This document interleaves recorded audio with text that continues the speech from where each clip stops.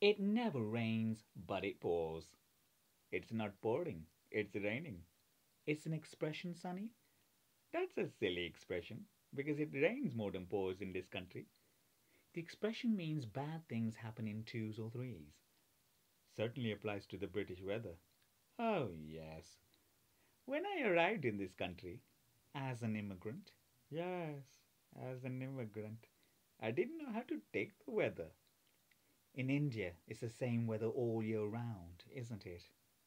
Correct. I'm always correct.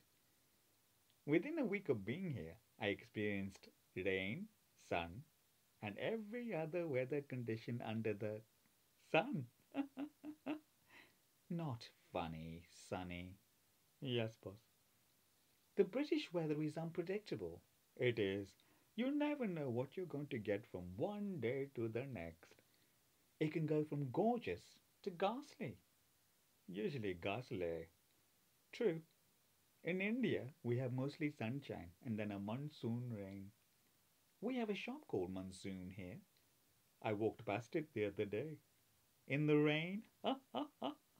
What else? In India, we just pray for rain to feed the crops. Let's get the violins out. Please do. But I don't play. Do you? No.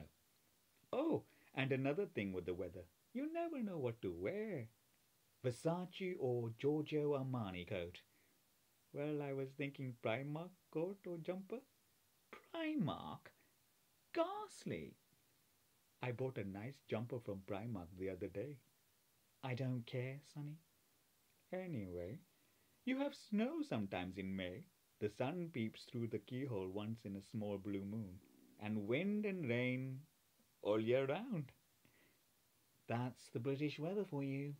It rains and pours, snows and blows. Charming. Always.